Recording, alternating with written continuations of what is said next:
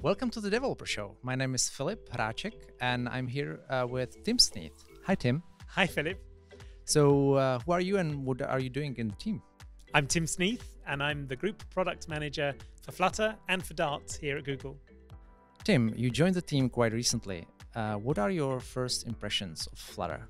Yeah, so uh, I joined the team about uh, what nine weeks ago now. Um, I came from Microsoft, where I'd been uh, there for 17 years, something like that. And uh, I came to Google because I was really inspired by by Flutter. Um, it's just such a beautiful platform. Uh, it feels productive, it's efficient. It's a great way to build mobile applications, whether you're targeting iOS or Android.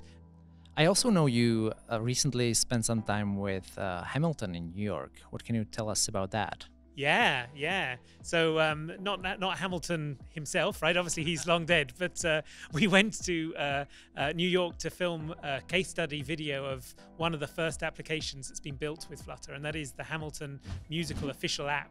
Uh, and they wanted to build this app to uh, be able to connect more closely with their fans. And so they were looking around for a platform, a framework that they could uh, move quickly, they could iterate fast, and they could ship something simultaneously both for iOS and for Android. And they picked picked Flutter.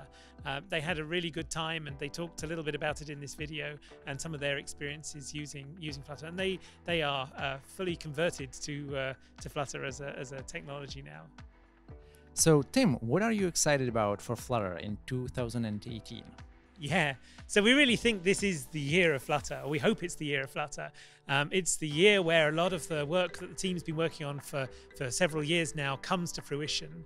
Uh, we're at the point now where Flutter is about to go into beta, uh, and this this year we're, we're going to continue to build on the foundations we've laid with Flutter. We're going to add things like uh, um, ads and map views and uh, inline video. We want to just continue to build out the richness of the experience.